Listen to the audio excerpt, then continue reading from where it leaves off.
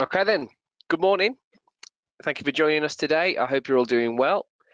Today's NAV Know How session is going to be covering emailing documents from NAV. As you may know by now, my name is Adam and I'm part of the 4PS account management team. And I'm joined here this morning by James Sharp, who many of you may know from our previous webinars and also from our consultancy team. So I'll hand over to James in just a second and he'll take you through today's agenda. If you've been on any of our webinars before, you know how it works. But if not, we ask that you forward any questions directly onto me once the webinar is over. This way we can just save some time and make sure that we don't overrun. So I'll put my contact details up on the screen at the end of the presentation and please feel free to give me a call or drop me an email. Also, just to let you know, this session is being recorded uh, and will be available to re-watch on our website in the very near future. Nice and short one for you this morning. We're looking for today's webinar to last around 10, 15 minutes. So if you're all set, James, it's over to you. Thanks, Adam, and good morning, everyone. So in this webinar, we'll be covering um, emailing documents from NAV. So the document types that we'll look at in this video will be sales quotes and sales invoices. There are other documents that you can email from NAV, but these are just the ones that we're going to look at in this webinar. Um, so what you can essentially do is instead of um, sending a PDF that's attached to the quote, instead of downloading that PDF, attach it to an email and then sending it to a customer, what you can do is you can just email it directly from Navision. So we'll look at how you do that. Um, when you email directly from Navision, the email body is automatically populated with a template. And what we'll look at then is how you can edit that template. Um, well, you can't actually edit the template directly. What you can do is you, you can make a copy of it and edit that copy. So I'll show you how we format the text and move fields around and remove field and add field and things like that. So if a customer wants to buy something from a business, that customer might get a different price based on how many things they buy or what time of year it is. Sometimes there's seasonal offers, something might be cheaper if they buy it in a particular month, or there might be a discount on if they buy a large quantity, or maybe if they buy over 10, they might get 15% off, things like that. So customers may call up and say, Can I have a quote? Can I have a sales quote on if um, I was to buy a certain amount of a certain item? Uh, to do that, we would go to sales quotes. We'd click new and we'd enter the customer that's asked for the quote. Um, we'll say they're looking to buy some items. We'll say a bicycle. So let's say they want to buy 10. So we can see here that if they buy 10 bicycles, they get a 15% discount. So they're quite expensive. That's £6,165 per bicycle. Um, but if they buy 10, then it's only £52,000, which is 15% off. So that's one of the reasons people might ask for a printed quote because the price might vary depending on how much they order. So they've asked for a quote on 10. So what we could do if we weren't emailing from Nav is we could print, print to PDF. So what this will give us then is a nice customer facing document that we can send externally to the customer that asked for the quote. This is just a standard document um, not, not too fancy, but it does the job. It's got everything they need there. So what we could do is we could save that to our local files, open up Outlook, create a new email, attach it, write the email body, and then send it to the customer. But if we're sending lots of quotes, lots of orders, lots of invoices, it can be quite, quite time consuming. So instead, what we can do is we can email from Nav. And to do that, we press send by email. If we press send by email, uh, we get presented with this window where we can type in the email address of the person we want to send the email to. You'll notice there that there's a button called uh, email uh, edit in Outlook, which I'll come back to. But if we don't tick that and we just press OK, that will send that email then directly um, to the email address that we specified, and it will have the attachment on. So that PDF that we just looked at, instead of us having to save it and then attach it to an email, and send it to the customer, it will just attach it automatically. So if we go to our emails, there we can see it's come through. And this is our sales quote. Um, if we open the attachment, we'll see the PDF that we saw earlier. And we've also got an email body here, which is like a summary um, of the quote. Also, what we can do is we can send by email and we can edit in Outlook. You'll notice that it said the uh, it said yours sincerely and a person's name. So this here is a salesperson. So if we change the salesperson code to my name here, initials JS, I'll update, and then we send email again. Just add the email address. Uh, we'll see now it says sincerely James Sharp. So that's where that gets mapped from, the salesperson on the quote or the order or the invoice. Um, so if we tick edit in Outlook this time and press OK, instead of it just sending the email straight away, what it's going to do is it's going to create the email for us and then we can edit the body here. So we might say, actually, we don't want the address there. Just put uh, a signature and we'll get rid of that maybe.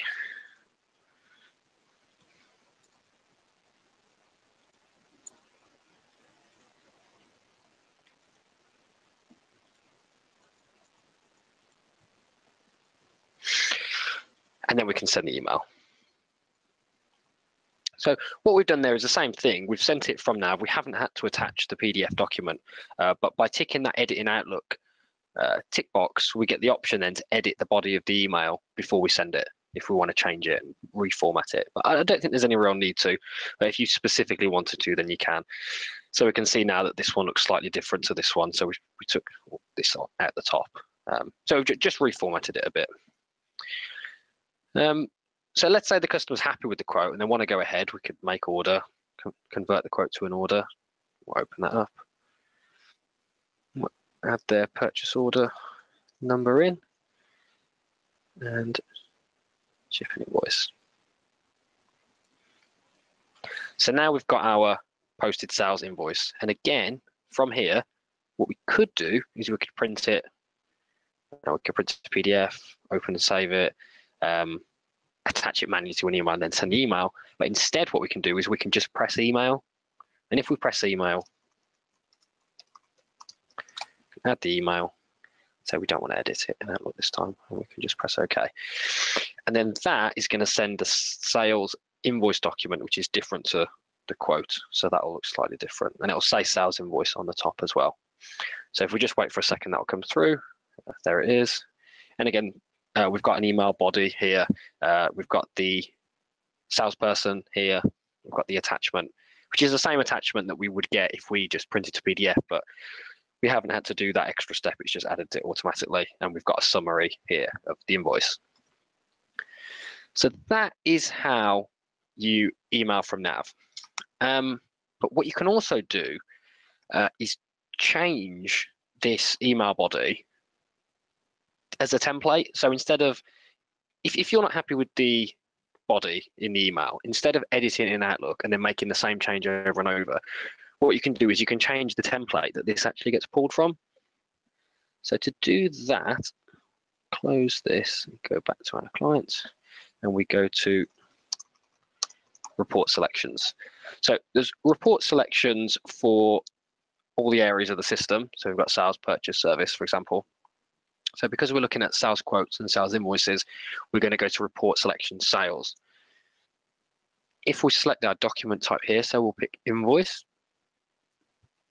and we can see that the email body layout used is the default email body. If we click that, we'll see the other email bodies that we've got in the database. so we could select any of these if we wanted, so you can have multiple set up. But what we're going to do in this case is we're going to just edit the default one. Um, to do that, you press edit layout, but what it doesn't do is edit that default one. What it actually does is make a copy of it because it won't let you edit the default one, which is good because it means you can always go back. So now we can see that this one's called sales invoice copy. Um, so we can then add uh, text to here. So maybe this quote is valid for 30 days. And we might say that actually we want to have that a bit bigger.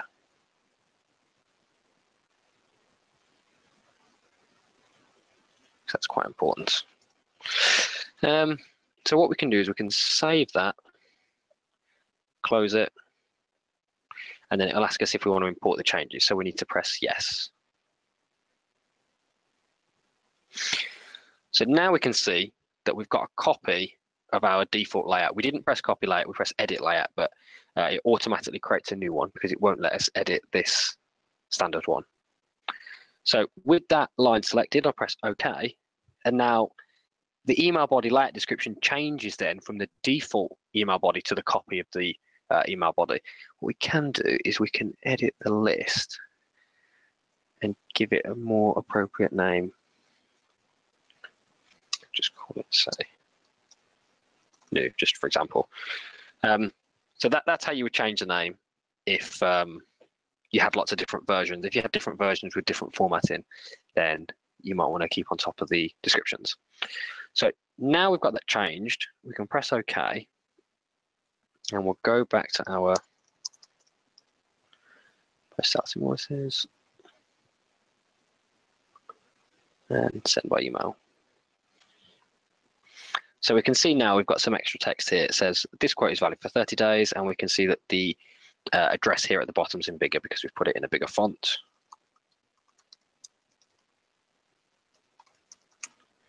Uh, so what we're not doing here is changing the PDF. What we're doing here is changing the email body. Uh, so now I've pressed send. If we go to Outlook, then we can see we've got a new version with that extra text in here. Um, so this quote is valid for 30 days. So that, that's the bit that we've added. And then because we're saying that we think this is quite important, we're going to put it in bigger font. So that's what we've done there. Um, so that is adding text and formatting text, but you can actually add fields from nav onto the email body that aren't on the template already. And to do that, we have to edit the uh, email body in the developer tab. So I'll show you now how we do that. So if we go back to our report selection sales and we go to the email body layout. So we click our template and we will edit layout. So when we edit layout, it's going to open it in Word again. And there's a tab here called developer. If this tab isn't available straight away, which it might not be because it wasn't for me, um, you have to right click the ribbon and customize ribbon. And there's a tick box here for the developer tab. Uh, if, if you open up Word and you haven't got the developer tab, you have to right click, customize ribbon, tick that, press OK, and then close and reopen Word. It doesn't just pull it straight through, you have to restart Word. Uh, but when you restart Word, you'll have this uh, tab here with lots of things that we can do with the document. So the one I wanted to show you was the XML mapping pane.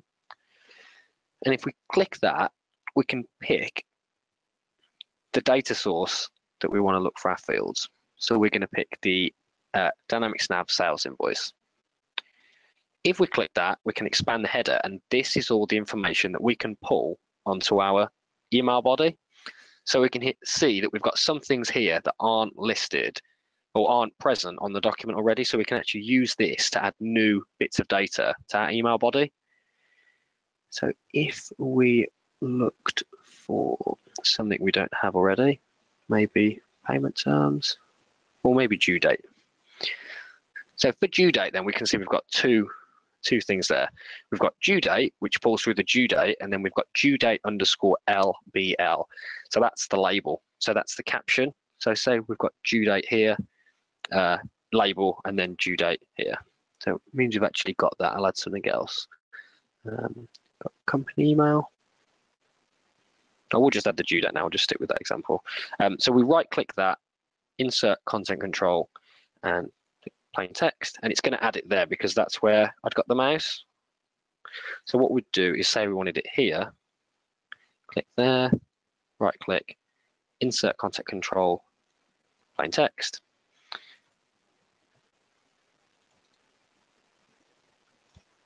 So there we go. So there we've got our document date label at the top, which is going to say the word, uh, the words document date, and then under we've got the document date lookup, which is going to pull the document date from Navision. So if we save that, uh, close it, import the changes and press OK. Then when we go back to our posted sales invoices, if we print a posted sales invoice, then we'll see the same uh, PDF because we haven't edited the PDF, we're just editing the email body. But if we send by email, then we can see we've got the document date there. And if we add the email address to the customer, press OK. So we just added my email address again, so it should come through to me. When that pulls through, we'll see we've got the document date on the bottom. So we might want to put it somewhere more appropriate, maybe in the top, maybe put it a bit smaller so it looks the same with the rest of the text. But that's the concept that not only can you change the size of your text, move your text, delete text, um, you can also add new fields, new field lookups from Navision that aren't on the email body already, and then put them where you like. So thanks for listening, and I'll pass you back over to Adam. Excellent. Thank you very much, James. I hope you all found that interesting and useful. So if you do have any questions or would like to know more, please take note of my contact details on screen now and do get in touch. I'll be happy to help you out. Keep your eyes open for details of our next Nav Know How webinar, which is going to be announced very shortly. Uh, and also, by now, you will have received an invitation to our upcoming Customer Day on the 13th of November, just under two weeks away. Uh, so it's going to be an excellent day where we'll be hosting roundtable discussions, getting updates on all things Microsoft and Nav, looking at some one minute wonders in your system, Nav integrations with other software, and much, much more. So if you would like to attend, you can either sign up on our website or let me know and I can do it all for you. Once again, thank you for being with us this morning. Have a great day and we'll see you very soon. Cheers. Thank you.